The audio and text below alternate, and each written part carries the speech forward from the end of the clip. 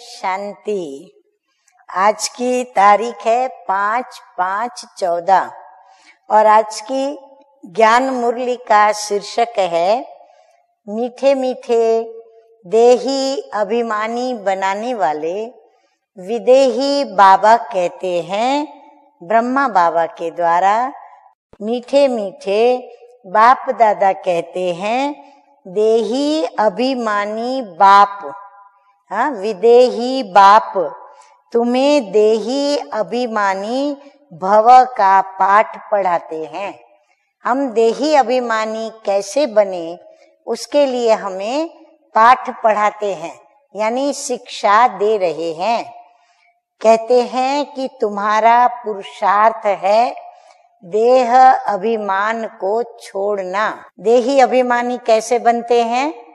जब हम अपने देह भान को त्यागते हैं, अर्थात छोड़ते हैं। प्रश्न है आज का, देह अभिमानी बनने से कौन सी पहली बीमारी उत्पन्न होती है? हाँ देह अभिमान का कीड़ा लगने से कौन सी पहली बीमारी लग जाती है? उत्तर है, नाम रूप की। हाँ पहले पहले देह को देखते ही आत्मा उस देह पर प्रभावित होती है। यह व्यक्ति कितनी अच्छी है, कितनी सुंदर है, कितना मीठा बोलती है, कैसे देखती है, कैसे अच्छी मीठी मीठी बातें करती है तो उसकी देह की सुंदरता के ऊपर, उसकी विशेषताओं के ऊपर, उसके गुणों के ऊपर दृष्टि जाती है तो नाम रूप की बीमारी यहाँ ये एक प्रकार की बीमारी है, जो बीमारी लग जाती है, ये बीमारी ही विकारी बना देती है। और जब नारी कोई सुंदर लगी या कोई विशेषता किसमें हमें आकर्षित कर रही है तो फिर दिल करती है कि उस व्यक्ति के साथ हम अपना संबंध भी जोड़ें। और संबंध जोड़ने के संकल्प से धीरे धीरे उस व्यक्ति के समीप जाते जाते आखिर यह बीमारी क्या कर देती है? विकारी बना देती है। इसलिए बाप कहते हैं, आत्म अभिमानी रहने की प्रैक्टिस करो। इस शरीर से तुम्हारा लगाव नहीं होना चाहिए।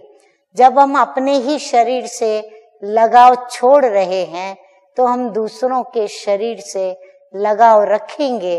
तो हमें यह बीमारी अवश्य ही होगी। तो देह के लगाव को छोड़कर एक बाप को याद करो तो पावन बन जाएँगे। बाप तुम्हें जीवन बंध से, जीवन मुक्त बनने की युक्ति बताते हैं। यही पढ़ाई है। धारणा के लिए मुख्य दो बातें।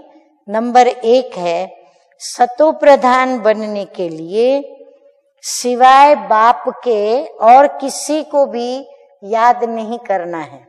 देही अभिमानी बनने की प्रैक्टिस करनी है। नंबर दो है, सबसे क्षीर खंड होकर रहना है। इस अंतिम जन्म में विकार पर विजय प्राप्त कर जगत जीत बनना है।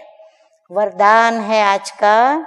सतगुरु बाबा कहते हैं कि महसूसता की शक्ति के द्वारा। स्वपरिवर्तन करने वाले तीव्र पुरुषार्थी भव। कोई भी परिवर्तन का सहज आधार महसूसता की शक्ति है। अंदर से हमें गहराई से फील होना चाहिए, महसूस होना चाहिए, अपनी वास्तविकता को हम छुएँ। स्पर्श करें, तब बाबा कहते हैं, परिवर्तन भी सहज होता है। जब तक महसूसता की शक्ति नहीं आती, तब तक अनुभूति नहीं होती। और जब तक अनुभूति नहीं, तब तक ब्राह्मण जीवन की विशेषता का फाउंडेशन मज़बूत नहीं। अनुभवी की नींव पक्की होती है तो बाबा भी कहते हैं फाउंडेशन पक्का करो। उमंग और उत्साह की चाल नहीं। उमंग और उत्साह की चाल में क्या होता है? जोश होता है। परंतु अनुभव होश में चलाता है। तो जब महसूसता की शक्ति हर बात का अनुभवी बनाती है, तब पुरुषार्थी बन जाते हो। महसूसता की शक्ति सदा काल के लिए सहज परिवर्तन करा देती है। स्लोगन है आज का।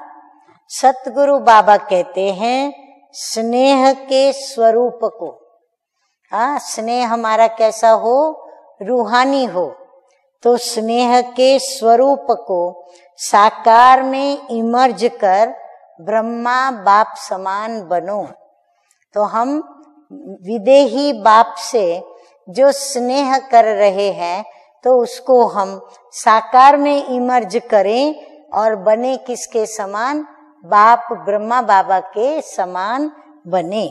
अच्छा मीठे मीठे सिकिल दे बच्चों प्रति मात पिता बाप दादा का याद प्यार और गुड मॉर्निंग, रूहानी बाप की रूहानी बच्चों को नमस्ते। हम रूहानी बच्चों की रूहानी बाप दादा को याद प्यार गुड मॉर्निंग और नमस्ते नमस्ते। ओम शांति।